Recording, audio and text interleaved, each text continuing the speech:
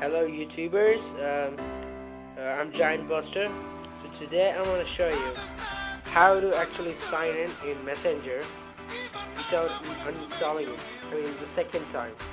If you have already signed in one account and you want to sign in another one, but you can't.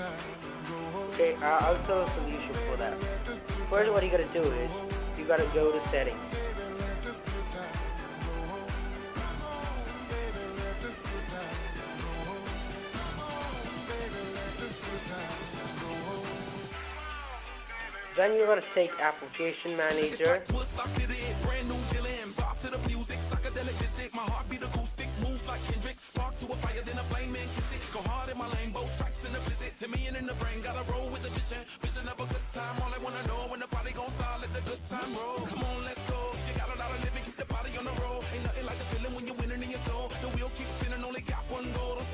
Joke, and stop, stop the flow. Then scroll down until you find messenger.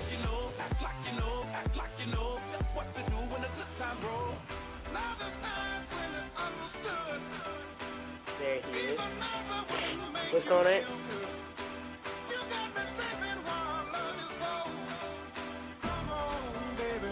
Then clear the data. Okay, that's it. Clear the data and the next time when you take messenger, it'll be like uh, continue as whoever you're signed in right now. Be like signed in Facebook. Okay? I can't do that right now because I already changed it and I don't want to do it again. So that's it guys. Have a nice day. Peace out.